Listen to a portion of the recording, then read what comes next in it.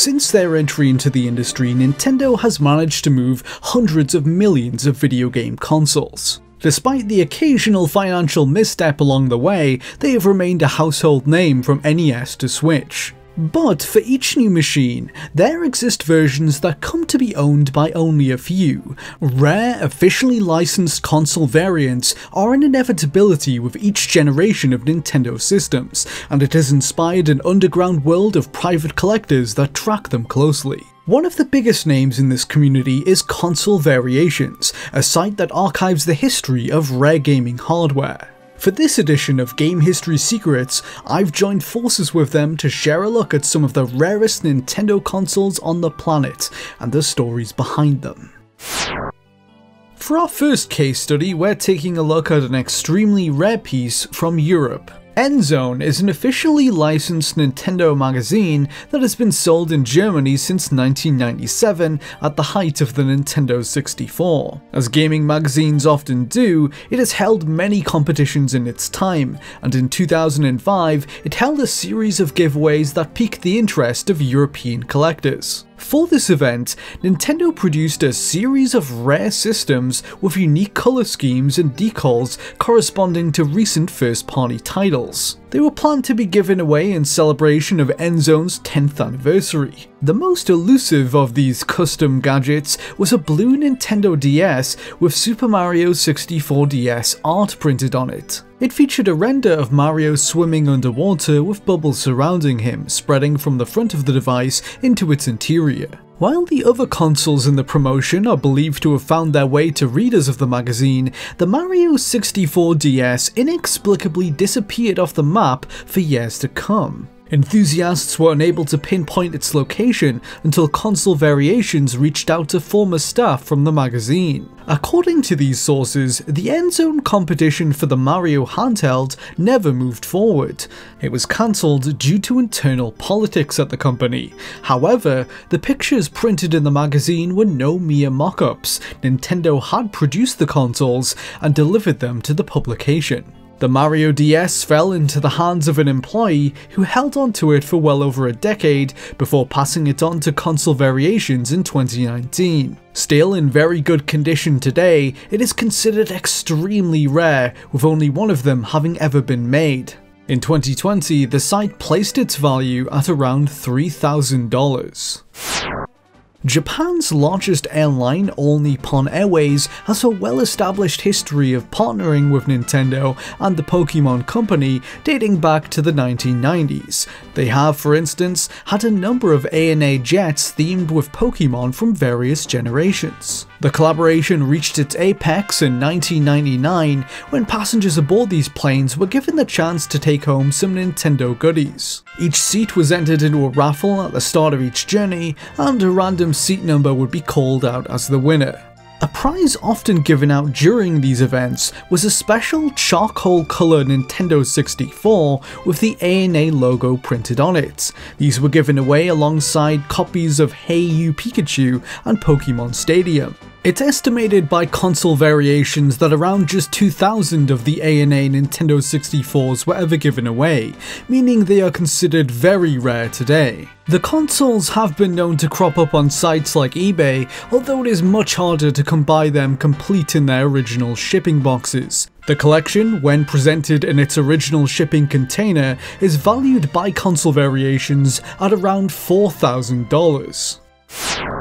Nintendo has, over the years, made a habit of sending games media outlets unique merchandise to promote their upcoming titles. This practice has led to some hotly sought after items. Their inherent rarity and the allure of them not being available to the public drives fans to drop hundreds of dollars to add them to their collections. One such example is the special edition Advance Wars DS made to advertise Advance Wars Dual Strike in 2005. Only 50 of these press kits were sent out in total, and they were made available exclusively to press in Europe.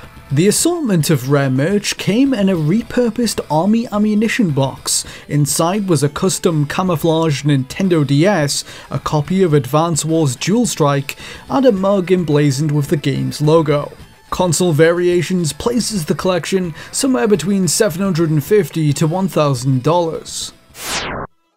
In 2010, Nintendo made headlines with yet another big collaboration. The company partnered with fast food giant McDonald's to produce a line of McDonald's branded DSi units. These devices were made available exclusively to branches of McDonald's in Japan whose employees used them for training purposes. The black DSIs, donning the McDonald's M, came with unique DS cartridges containing training software. Two varieties of McDonald's training software were offered, one for helping get franchise newcomers to grips with the workings of the restaurant, and another to aid existing workers. The programs were intended to teach everything from workplace sanitation to food preparation, and the two cartridges even came in their own DS game boxes, complete with instruction manuals. This attempt to capitalise upon the massive success of the handheld is said to have cost McDonald's around $2.2 million. Several years later, this program was gradually phased out of stores and the devices made their way into the hands of collectors. A decade on, the McDonald's DSi is considered very rare and highly valuable. The few that have cropped up online typically bear the wear and tear from everyday usage inside the restaurants, but still manage to fetch a large sum from enthusiasts. In 2020, one was put up for sale on Yahoo Japan auctions with one of the training cartridges and sold for the equivalent of around $3,200. Fans have attempted to reverse engineer the software to fully access its features, but have found only limited success since it requires a form of authentication to use. 2017 saw the re-release of Rockstar's open-world detective game LA Noire. The publisher went all out to promote its return, even commissioning some custom gaming hardware. These devices were painted gold and black, with designs inspired by the game's 1940s aesthetic. There was one made for each platform the re-release landed on, PC, Xbox One, PS4 and Nintendo Switch. They were all given out as part of a sweepstakes one month on from launch in December 2017. Fans could enter via Rockstar's social club to win one of the four machines. The winners are believed to have received their prizes in early 2018, and the devices fell off the radar for some time after that. It didn't require a detective to track down the Nintendo Switch however, as it soon began being traded around collector circles. Console Variations acquired it after it emerged on a Facebook trading group in 2019. The item is entirely one of a kind. It features a custom LA Noire Nintendo Switch dock, console, and matching Joy-Con. It also sports the Rockstar logo on the back of it. The site estimated that the set was worth at least $2,000 in 2020. In mid-2005, the Japanese Club Nintendo site launched a region-exclusive giveaway designed to encourage players to spend more on software and hardware during this period. The promotion was called Hot Summer.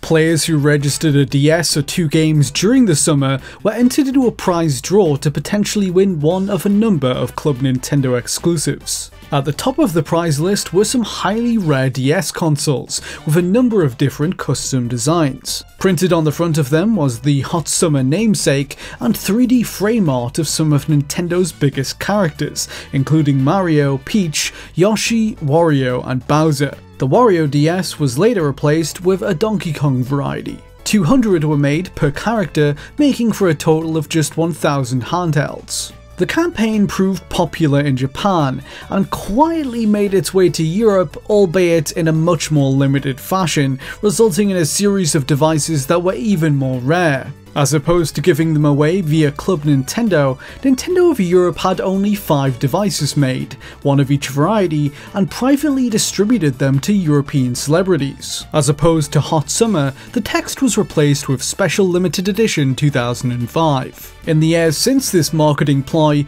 only one of the limited edition 2005 units have been discovered by collectors, the Donkey Kong variety. It was originally sent to German musician Xavier Naidoo before being recovered by console variations. Due to its extreme rarity and spotless condition, the device is regarded as exceedingly valuable.